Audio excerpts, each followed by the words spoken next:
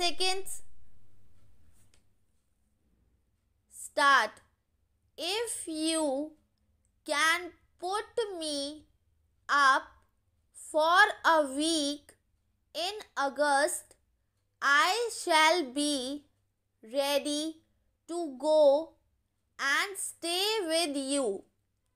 You can have as much walking as you like.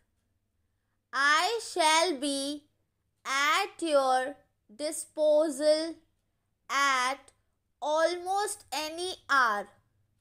And as I am a rare walker myself, I think I can say you will have all the exercise you wish. You ought to be a different fellow when I leave. If you will be influenced by me, I think I can give you a mile in six and beat you.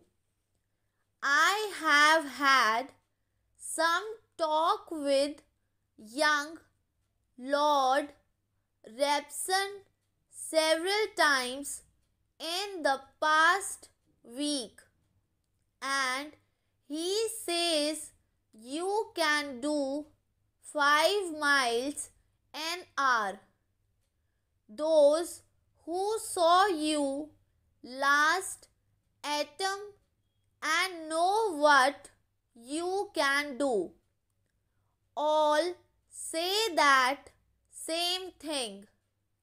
This is all I know as to your form, but we shall see for ourselves. I think you will own I am far beyond you in speed.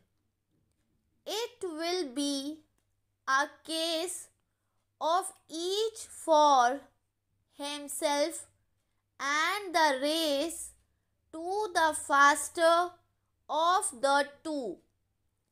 Oh, I know I shall beat you unless you are faster this year. Those who think poorly of themselves only induce those who know them to think the same. I speak for myself because I know myself. I can say a deal on this subject and I usually do so. You ask why I have stayed away so long. The answer is business keeps me away. When would you like me to come? The best of luck to you and to the rest of the family.